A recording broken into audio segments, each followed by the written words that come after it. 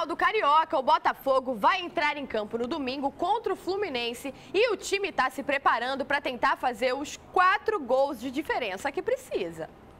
O Botafogo se prepara para a final do Campeonato Carioca. E em campo, apenas os reservas treinaram. A novidade foi Jobson, que fez trabalho com bola. O atacante não treinava com o grupo desde o dia 28 de abril. Dos jogadores que participaram do último jogo com o Vitória pela Copa do Brasil, apenas Felipe Menezes treinou.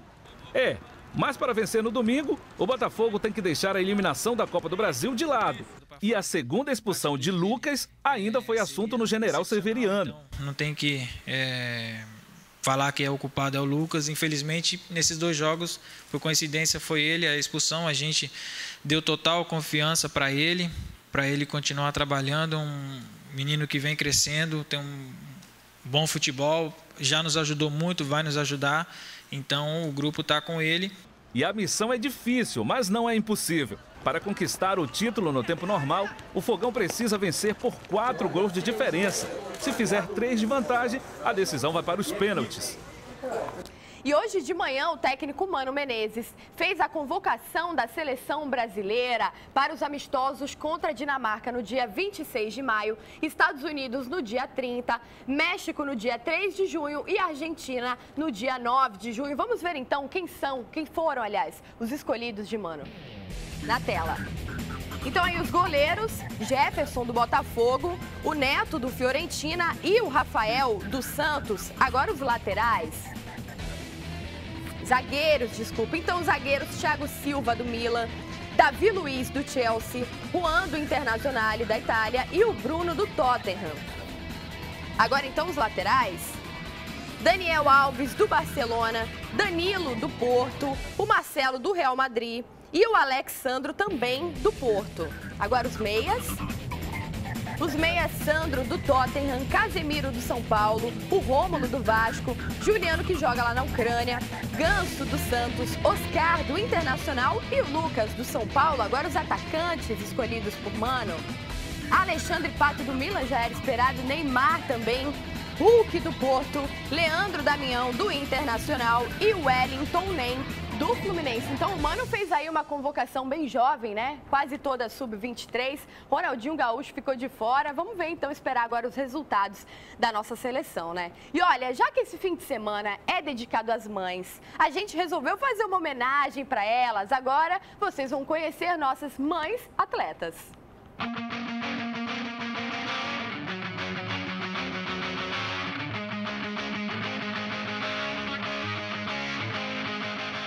Érica Queiroz e Silvia Teixeira. Sabe o que as duas têm em comum? Isso mesmo, são atletas, ou melhor, mães atletas, que conseguem conciliar o tempo entre a família e o esporte.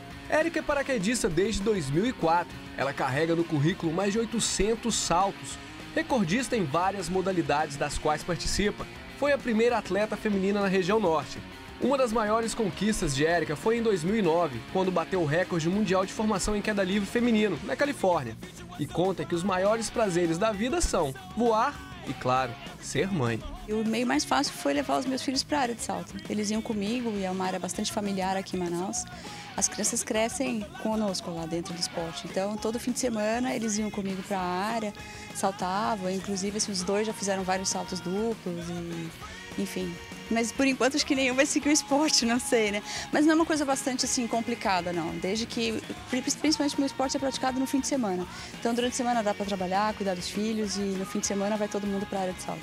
Silvia é professora de educação física há 18 anos e há dois resolveu se tornar fisiculturista. Ela conta que no começo houve uma certa resistência por parte dos filhos e hoje eles são os maiores incentivadores da mãe, que está sempre de bom humor. Silvia conquistou o primeiro lugar no Campeonato Regional de Fisiculturismo e sonha conquistar o ouro no Campeonato Nacional, que será realizado no Rio de Janeiro no mês de julho. Agora vou enfrentar mais um campeonato, agora mais sério, lá fora, né? Não que daqui de Manaus não seja, porque aqui em Manaus é muito importante para mim, moro aqui, mas o Campeonato Brasileiro é muito atleta que vai lá. E eles estão me dando maior força novamente esse ano. Esse e qual o maior presente que você poderia ganhar nesse Dia das Mães? Eu já ganhei é, os meus filhos. Fisiculturistas ou paraquedistas, atletas ou não, vocês sempre serão exemplos de dedicação e amor por onde passarem.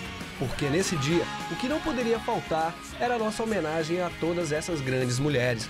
Feliz Dia das Mães!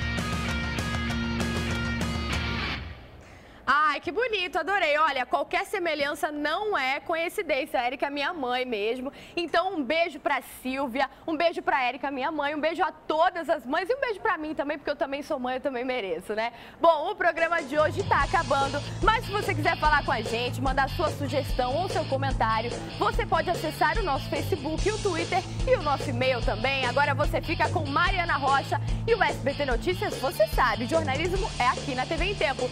Beijo, até segunda. Tchau.